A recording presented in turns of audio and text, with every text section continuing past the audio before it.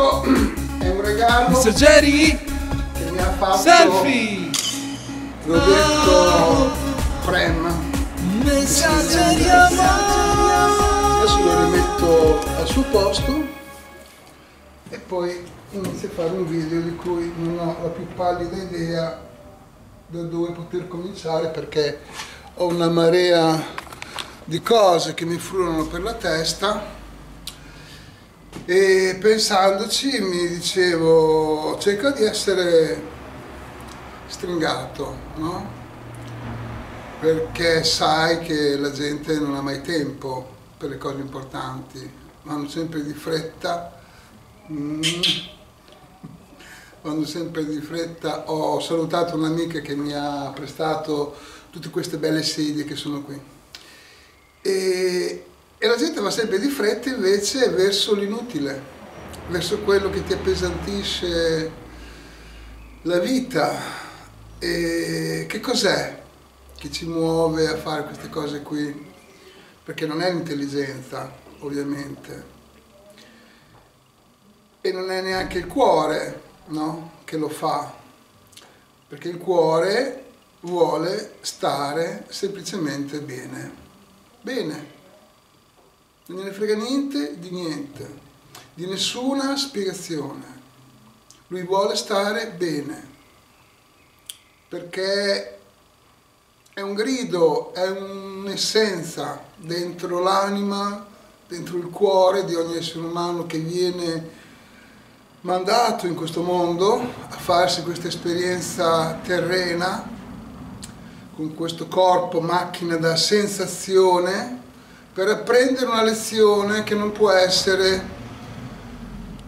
spiegata con un linguaggio, no? non, non basterebbero le parole, non basterebbero i libri da, sul quale scrivere per capire che cos'è che devi comprendere, cioè fare tuo che diventi carne della tua anima, che diventi consapevolezza, una cosa acquisita una volta per tutte. Per cui la domanda che cos'è che ci spinge a cercare l'inutile e a dannarci per l'inutile e a difendere quello che ci fa soffrire? È la nostra mente, non la nostra intelligenza anzi per essere ancora più preciso è la mia mente, è la mia mente che sa solo cose che riguardano questo mondo, che ha cominciato, che ho cominciato ad imparare in questo mondo dal primo respiro evagito in poi, fino adesso. Oggi sono un pochino diverso da ieri, domani sarà un pochino diverso da adesso e finché avrò la fortuna, l'onore di ricevere la vita direttamente dal creatore, al produttore, al consumatore senza intermediari, io me la spenderò con la massima contentezza, proprio mi sento contento, mi sento fortunato di essere qui in questo pianeta, in mezzo a tanti fratellini, no? parenti, perché proveniamo tutti dallo stesso ceppo, dove la stragrande maggioranza è ipnotizzata, non vede la realtà, non è un fatto di intelligenza, assolutamente, non c'entra nulla con l'intelligenza. Sono persone molto intelligenti che hanno capito tantissime cose che sono anche giuste se le vai ad analizzare e a fare la prova del 9 eppure, eppure non hanno compreso lo scopo della loro vita perché non vivono in pace. Perché per stare in pace non basta sapere la teoria a menadito non è una religione la pace che devi studiare. Io mi ricordo quando ero un bambino che mi hanno fatto la full immersion di religione perché a nove anni, no che a nove anni, a sette anni fui a, come dire, mandato in una specie di ospedale collegio perché avevo una leggera ombra di una macchia di un polmone. Mio babbo aveva la TBC, per cui ci stava che io avessi una piccola macchia che poi è stata curata. Però mi tennero lì due anni, no? Due anni dove io ho visto la mia famiglia che mi sono venuti a trovare una volta sola. E mi ricordo che sentivo questa nostalgia costante tutti i giorni di casa mia, di mia mamma, di una vita che nel mio piccolo, un bambino di sette anni, aveva già i suoi ricordi e sentiva la differenza del sentimento, dello stare bene in una cosa familiare, privata, e una cosa che anche se mi stava salvando la vita, come in effetti è stato, non mi poteva dare quella vicinanza, quell'affetto che è il bisogno, la necessità primaria per un essere umano, no? Ma perché poi ho parlato del fatto quando ero bambino? Ah, catechismo. In questa specie di collegio ospedale, governato dai preti dalle suore, specialmente suore, lì era chiesa dalla mattina alla sera, dalla mattina alla sera. Io mi ricordo che nel pomeriggio, quando andavamo a fare il riposino che ci costringevano a fare, ma che i bambini non farebbero mai perché hanno talmente tanti quell'energia che finché ce n'è il bambino saggiamente la spende, no? Però ci mandavano a fare il riposino. E nel riposino potevamo leggere o il libro del catechismo, un libricino che c'era delle domande alla fine che erano grossissime, con delle risposte grossissime, e io le avevo imparate tutte. Adesso non mi ricordo più niente, a parte qualche atto di dolore, che sono le cose più importanti che vogliono che noi ci ricordiamo, l'atto di dolore.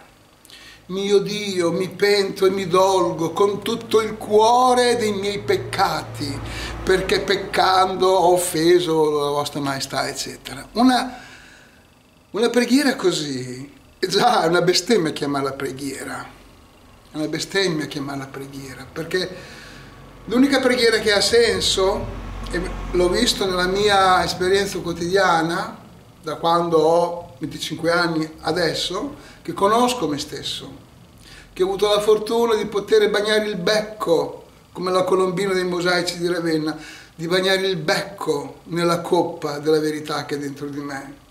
E da allora, bagnandomi il beccuccio, mi ricordo quello che volevo dire,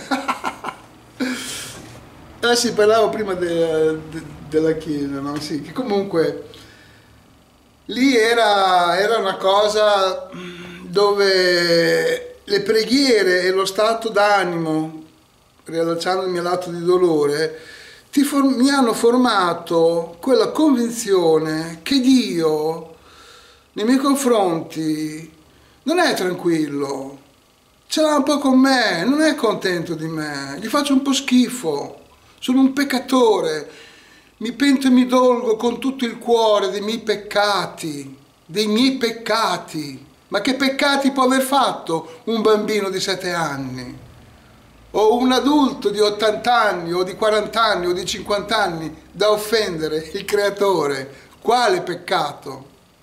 Quale peccato puoi fare perché tu vedi Dio? Oddio mio, toglietelo dalle mani perché lo disfo. Non esiste questa roba qui, esiste solo nella mente depravata di chi ci sta governando da migliaia di anni, e lo sta facendo anche adesso, e fa di tutto per rompere il cazzo, il cazzo alle persone che sono accese, sveglie. In tutte le epoche l'hanno fatta questa cosa qui. E lo fanno anche adesso. Non mi mettono sul rogo, non mi bruciano sul rogo, come avrebbero fatto anche solo 150 anni fa, o 200 al massimo, no? Un bel taglio della testa anche, andava molto bene per risolvere i problemi. Però fanno in modo adesso di azzerarti, di zittirti, no? Ad esempio qui il mio lavoro, no? Da quando l'illustrissima polizia municipale, no? con uh, il timbro della prefettura e con il timbro del giudice di pace, hanno deciso di schiantarmi economicamente la carriera e ce l'hanno fatta. Ce l'hanno fatta perché da più di un anno e mezzo, da quando mi hanno sequestrato l'elemento chiave per far accendere il mio progetto sul quale sto lavorando dal 1992, impedendomi di accendere questo motore, di questo missile, di questa nave che deve partire per dare prosperità alla gente che la vuole, perché ci sarà molta gente che non la vorrà e va benissimo, ma per chi la vuole, per chi ha sete di una vita semplice, in pace, gratificante, che ti vai a letto con la pancia piena d'amore e dormi bene e ti svegli bene, capi? per quelle persone lì io sto facendo un lavoro, un gioco sacro che può essere condiviso anche da queste persone qui. Può essere fatta questa cosa. Questa polizia municipale no, che mi impedisce di lavorare, per cui di guadagnare dei soldi, per la prima volta, per la prima volta da quando io sono un professionista, mi trovo in braghe di tele. Economicamente, e non vi chiederò una lira a voi ravennati, perché vi conosco, siete come me, odiati i vostri concittadini che hanno un merito, per cui non vi chiederò niente, perché non mi darete niente, l'ho già visto, a parte pochi amici, pochi piccoli geni che esistono anche a Ravenna, il resto siete assenti, ingiustificati, c'è poco da fare, per cui non vi chiederò nulla, però di fatto io devo andare via di qui, perché il giorno del mio compleanno la padrona di questo negozio di quell'altro mi ha detto Montelli io voglio vendere i negozi e a fine mese me li devi liberare non mi interessa niente le abbono i soldi che devo dargli di affitto eccetera mi deve lasciare libero i locali e io mi sono detto perché tutte le volte che arriva una notizia un qualcosa no? Che noi siamo abituati a classificare tipo ah questo è un problema, ah questa è una fortuna e poi non ci ritorniamo più sopra quelle cose lì. Invece nella realtà, nel tempo, l'evoluzione delle cose fa diventare quello che tu hai giudicato sbagliato, un errore negativo, esattamente il contrario. Una cosa giusta, una cosa positiva, una cosa che faceva proprio al caso tuo. Capito? E allora adesso io mi ritrovo in questa situazione dove, ad esempio, considerando, ricordando, quando mi hanno fatto la prima multa, giusto per fare un piccolo esempio sulle parole che ho appena detto, la prima multa che mi hanno fatto, il primo verbale dei 4-5 sequestri che hanno buttato su, tra l'altro mi hanno anche condannato, io sono condannato per aver fatto aprire, aprire il primo scatolone sequestrato con tutti i c'è, i cazzi artistici dentro che mi sono costati una fortuna, una fortuna solo di gioiellerie, eh, mosaico e altri, altri lavori, no? ma loro chiaramente non interessa niente, mi hanno sequestrato questa roba e siccome io ho creduto alla Veritas, qualità di Anam, che mi ha detto facciamo un sequestro dopo aver fatto il rigetto e avergli dato il tempo di rispondere scaduto il quale noi siamo liberi di fare il sequestro, l'abbiamo fatto, però sorpresina, sorpresina io sono stato condannato a sei mesi di reclusione, reclusione e 4.700 euro di multa, che hanno detto però la condoniamo perché lui non ha mai avuto precedenti, non sono mai stato pizzicato con le mani nel reato, no? per cui sono vergine, e, e gli condoniamo anche la multa, però buttiamo via la scatola con tutti i cazzi dentro. A meno che non ti appelli, vai in giudizio e in giudizio poi puoi anche rischiare di più. Cioè che mi danno più mesi di condanna e che mi aumentano la cosa. E io ho detto vengo in giudizio e se mi condannate l'onta rimarrà su di voi. Passerete alla storia per avere multato in un momento dove l'arte sembra che sia libera, l'unico artista lucido che sa cosa serve l'arte. Se non la metti al servizio della pace, l'arte è merda. Merda. Merda. Pura merda. E io non pretendo che gli altri lo capiscono perché sono talmente ammaestrati a ragionare con la testa di altri e a sentire con sentimenti di altri che è ovvio che la pace la pace non è uno slogan, la pace non è un pur parler tanto per fare delle mosse. Non dobbiamo fare le guerre con la scusa di un'ipotetica pace, ma mica poi la dobbiamo raggiungere. Basta che ci facciamo la guerra, che ci diamo delle belle bastonate nei denti, che ci spacchiamo in due, che stupriamo i bambini, che gli caviamo gli organi. E se poi lo fa la Chiesa cattolica, questa cosa qui, ancora meglio. Festa! Madonna che baracca! Comunque, morale, ehm, la multa che mi avevano fatto, la prima multa, il primo verbale che mi hanno fatto, secondo la nostra razionalità dovevo metterlo nel, uh, nello scatolone dei problemi. E invece mi sono accorto che dietro quella multa ho scoperto il diritto naturale, ho scoperto delle cose che non conoscevo, che hanno cambiato la situazione così, del mio rapporto nei confronti della legge. Da così a così l'ha cambiata. E il fatto che il giudice mi abbia condannato, il giudice di pace mi abbia condannato nella prima udienza, non significa che io sono veramente colpevole e che non uscirò vincitore. Significa solo che quel giudice di pace lì verrà aggiunto nella lista di tutti i funzionari pubblici che sono venuti da me e mi hanno creato un danno commettendo un reato quando io non ho commesso nessuno reato, nessun danno e nessuna truffa nei confronti di nessuno, per cui essendo un cittadino libero, rispettoso della legge e soprattutto della pace, della pace, parola fondamentale della nostra Costituzione, di cui tutti i politici ci si puliscono letteralmente il buco del culo con questa cosa qui. Per cui capite che razza di merda disumana ho di fronte io, che se mi mettessi a combatterla avrei già perso, perché è in... Uh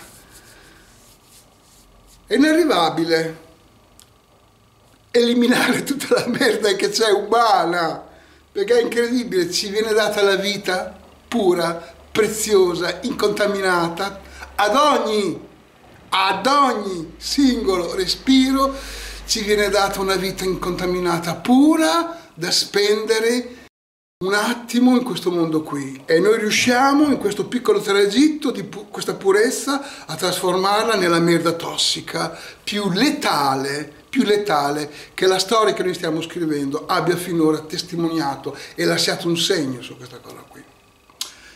Per cui questo problema ipotetico, devo andare via di qui perché o compro, o compro i locali, se avessi soldi li comprerei, perché sono piccolo, non ho voglia di smontare tutta la baracca e rimontarla da un'altra parte. Ma siccome so che non sono io che dirigo, non sono io il regista della mia vita e del mio lavoro, ma è il mio Dio interiore, che lo faceva ancora prima che io me ne rendessi conto.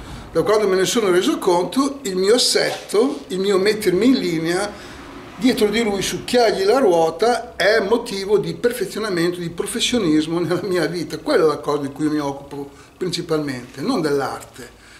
Anzi, mi occupo di arte, ma dell'arte suprema. L'arte suprema, l'arte suprema è essere contenti, felici della vita che si ha a disposizione.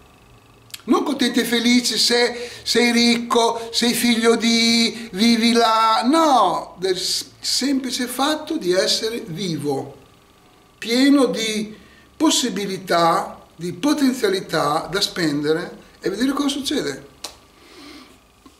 Per cui, siccome è lui che dirige tutta la mia baracca, se lui ha deciso che questo mio lavoro deve finire, me lo farà capire. Gliel'ho chiesto tante volte in passato, in tutti questi anni nei quali sto lavorando. Ogni tanto ho avuto dei dubbi. Ho detto, devo andare avanti con questa cosa?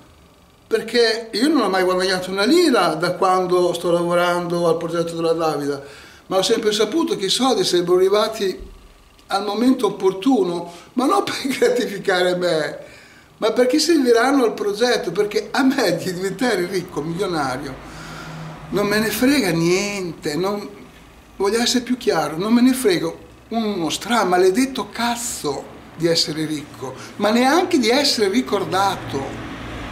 Se io potessi realizzare, se potrò realizzare i miei tre Colossei, Colosseo grande e due Colossei piccoli, come ha detto il giudice di pace prima, il 20 febbraio, quando il mio avvocato gli ha detto, ma cosa, gli ha detto, vuol fare un monumento alla pace? Cosa vuol fare? Un grande cazzo? Mentre lo dicevo io sempre ho detto, mmm, mm, sei il giudice di pace che non è male. Adesso dico una cosa, Se per caso avrò la possibilità di fare il mio monumento alla pace, avrà la forma del cazzo, vagamente, perché i due colossei laterali, che sono più piccoli, risultano come due semisfere, non so se... Più quello centrale, che è grande il doppio, basta che gli alzo leggermente un po' la cupola e sembra il sacro cazzo. Giudice di pace, anche tu mi hai dato a tua insaputa un'idea che forse non è male. E per chiudere, allora se io di qui me ne devo andare perché voi ravennati non mi aiuterete, l'ho già visto, politici, amici, siete, siete assenti, non ci siete. Io farei anche l'appello al sindaco, anzi glielo faccio, anzi per non avere pregiudizi faccio un appello politico, mi appello al sindaco di Ravenna De Pascale, a Massimiliano Alberghini, il vice sindaco di Ravenna, a Sancisi, a Sancisi, vecchio politico di Ravenna, a Samantha Tardi, una nuova politica di Ravenna, poi c'è la Valentina che ha a che fare con lo Spartaco, di cui non mi ricordo il cognome, assessore al bilancio, se qualcuno la conosce, gli dica che mi appello anche a lei, cioè io devo andare via da questo posto, devo andare via da questo posto.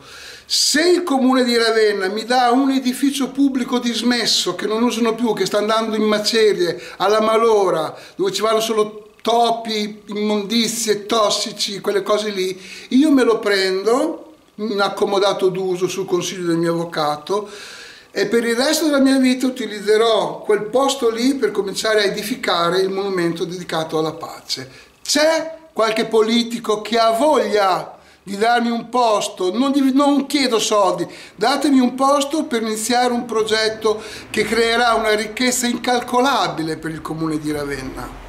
Incalcolabile. La gente verrà così a frotte a vedere il monumento della pace che faccio io, perché sarà un monumento della pace vero, si starà bene lì dentro.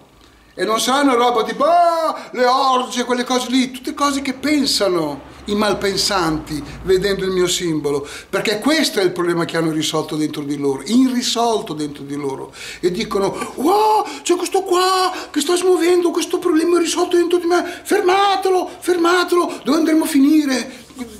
Cioè, capito? Queste reazioni qui, no?